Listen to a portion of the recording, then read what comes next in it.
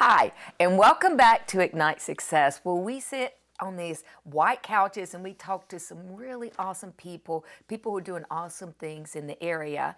And it's all to inspire you and to motivate you. I'm Sherrie Clark, I'm your host, and today I am so happy to introduce Brett Swarts.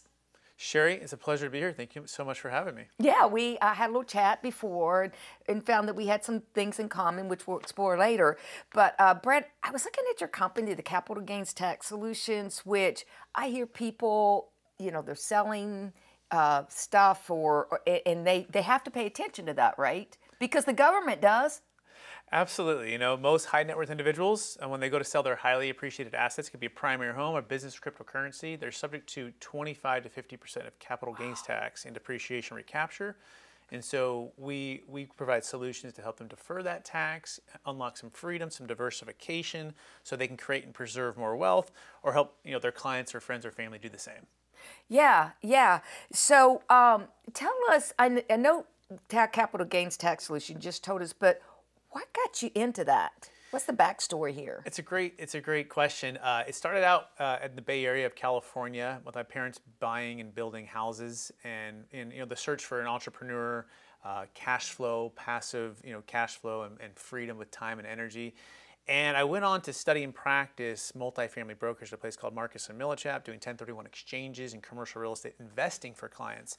And then the 2008 crash hit. Mm-hmm. And so we mm-hmm. saw a lot of pain and a lot of turmoil as it pertained to people who wanted to exit but felt trapped by what was called a 1031 exchange. And we thought there's got to be a better way. So I went on to see clients, friends, and family lose half or everything over a period of about three years. Wow. And so we said, you know what, uh, maybe there is something better. And, and during our research and, and during our, our, our studies, we found something called a deferred sales trust, which opened up the opportunity to serve clients in a, in a, in a way that unlocks the freedoms they desire, like time, energy freedom, entrepreneurial freedom, um, without having to feel trapped by the assets they're selling in order for them to create and preserve more wealth and also make an impact with their wealth for their families and the communities that they, uh, they're a part of. Wow, that's really interesting. You know, as an entrepreneur myself, you know, knowing that you have that there in place to help to help other entrepreneurs. Fantastic. So um, you came here from California. How long have you been here? About six months.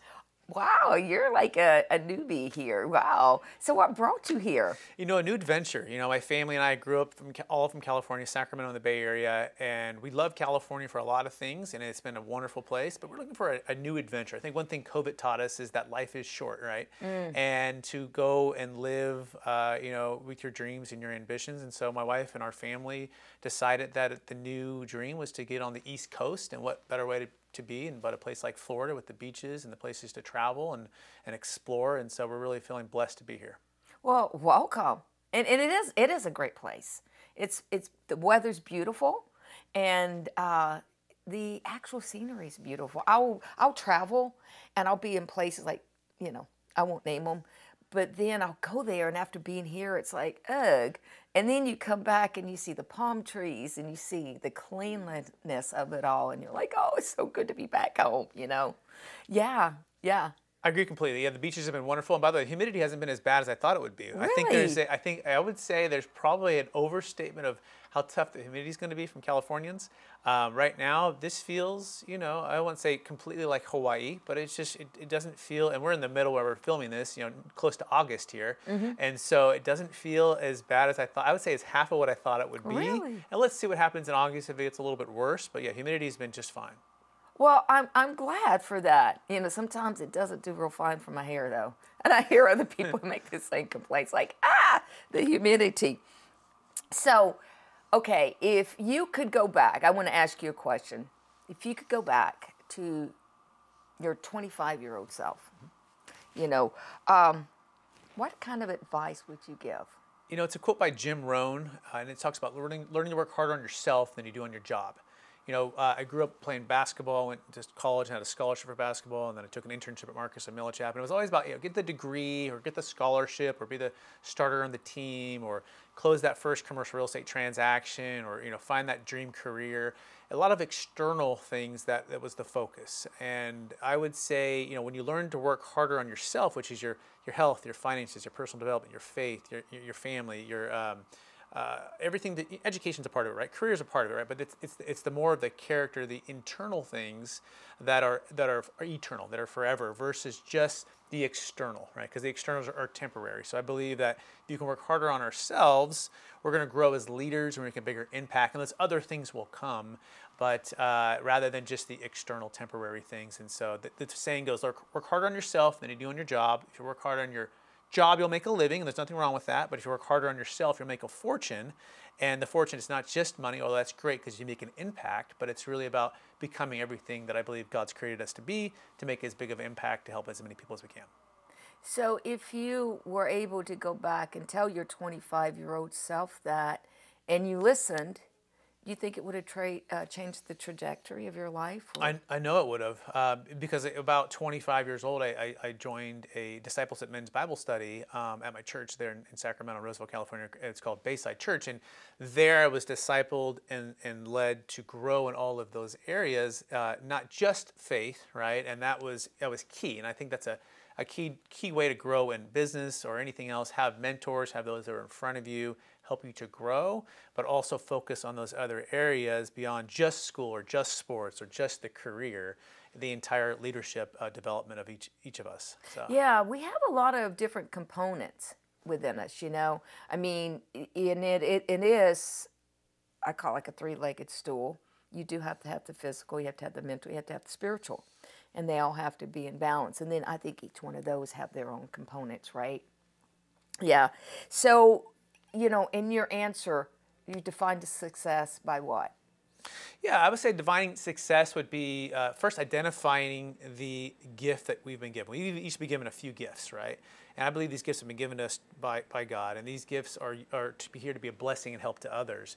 And so, first is understanding what those gifts are. Number two is not just understanding or having that, it's actually maximizing the potential of those gifts. And I believe this is a success formula. And once you maximize the potential of those gifts, then the next part is not just keeping that to yourself, but it's making as big of an impact as you can with many people. So, living with faith, not with fear, or not keeping your gifts underneath, underneath a rock, right? But going out and making a big impact.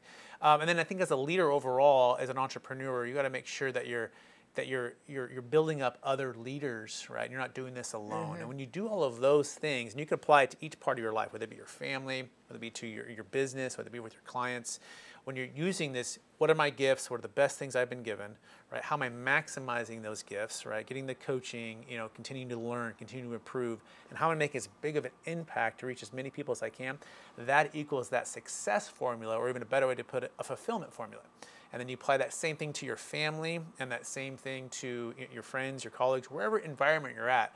Bring your best self with those gifts, make that impact, the fulfillment and the success follows. Great advice, despite how old you are, right? Uh, yeah. Just just turned 40, so uh, yeah. wow. But five children, so I would say that helps to be, I think, a little bit more yeah. mature and older in, in that sense. Yeah. Well, thank you so much, Brett, for coming, for sharing, for welcome to Florida. If you want to know more about Brett Swarts, you can go to iwantabuzz.com. And that's it for this segment, and I'll catch you in the next one.